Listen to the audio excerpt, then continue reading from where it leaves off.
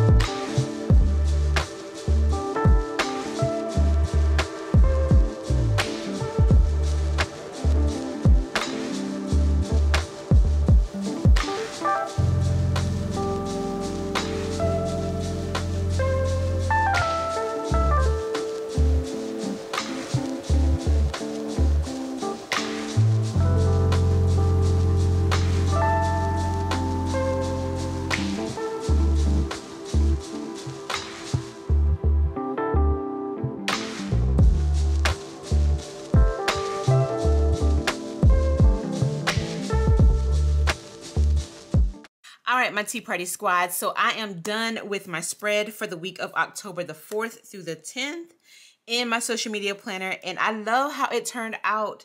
So the Girls with Goals and the Flower Sticker Book really, really pair well with each other.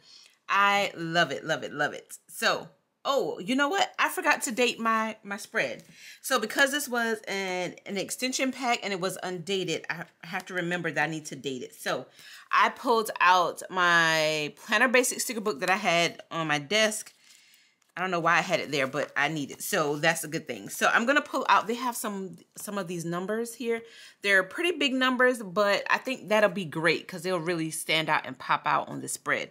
But you know, if y'all have been watching me for quite some time from the beginning of my YouTube channel, you know I used to use these number stickers a whole lot. So like I literally have like one, two, like two little stickers left on this one. I have been using my numbers, but I haven't pulled this out in a while. So I'm really excited that I had this on my desk. So I'm going to go ahead and pull out, uh-oh, I don't have enough numbers, y'all. So I already, apparently I already used five, six, and seven. So what I'm going to do is actually take away from some of these numbers here. So I'm going to do five, no, four, five, six, seven, eight, nine, and then I'm going to use 10. That's what I'm going to do. So let me do that real quick.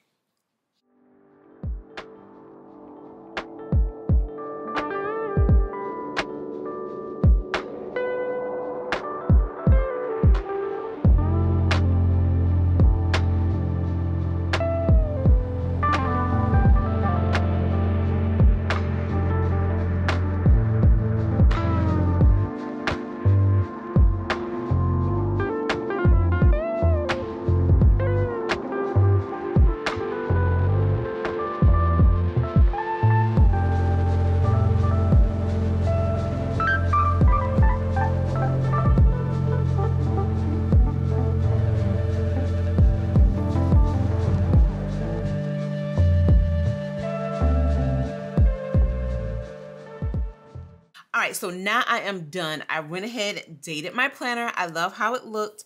I changed up a bit and put the numbers on the side here, and I love how it turned out. So I hope you guys found a helpful tip that I did in this video. I used some of the Planner Basic sticker books, and when I used the, the dates, I didn't have all of the date, the numbers that I needed. And so what I did, I just utilized some of the numbers that were already in here. And if I can find the page, here we go. I utilized some of the numbers like 15, 16, 17, 18, and 19. And I just took my pen blade um, retractable little X-Acto knife and I just kind of sliced it down the middle just to kind of cut out the number that I wanted. And I was able to use it to date my planner. So if you are a planner newbie and you're trying to figure out how to, you know, date your planners, but you don't have all of your numbers, you can definitely you know, use up some of the numbers that you do have to make up those numbers. So I hope that was a helpful tip for you. But I am done with my spread. I also put a quote sticker here and it's in silver foil and I love using quote stickers on top of my stickers. But this silver foil, the foil stickers are not my best friend right now. Like it's hard to kind of pick up, but you'll see it says, don't ignore your potential. And I just love just to have that little layer over that.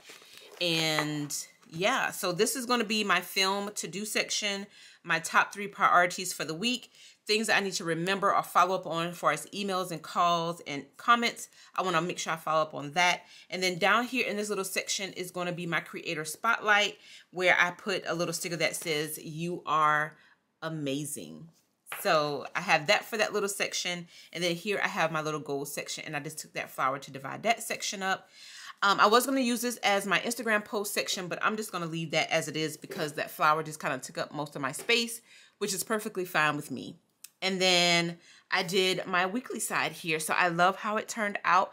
Hopefully you were able to get some inspiration or ideas from this spread and how to create a decorative functional spread in your Happy Planner or any of your other planners that are you are using.